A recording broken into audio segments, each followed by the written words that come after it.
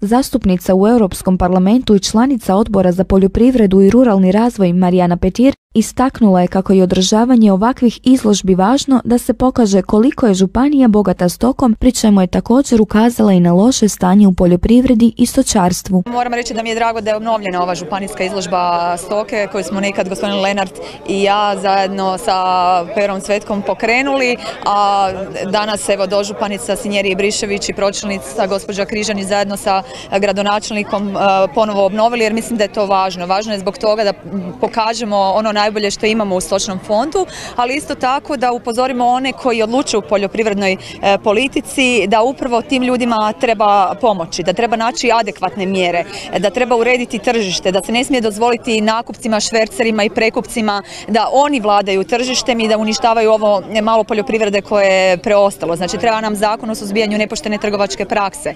Mi svi očekujemo od novog ministra poljoprivrede da uvede e, nove regulative u gospodarenje poljoprivrednim zemljištem. To je bilo obećanje, očekujemo da se to obećanje izvrši, a ne da se i dalje dijeli zemljište po Jakovininom modelu, jer je taj model štetan za poljoprivredna obiteljska gospodarstva. Znamo ako poljoprivrednici nemaju zemljište, teško da se mogu baviti poljoprivredom. Sektor e, mljekarstva, sektor svinjogojstva su totalno pokošeni. Mi smo na razini Europske unije donijeli e, paket mjera e, gotovo od 500 milijuna eura kako bi tim sektorima pomogli.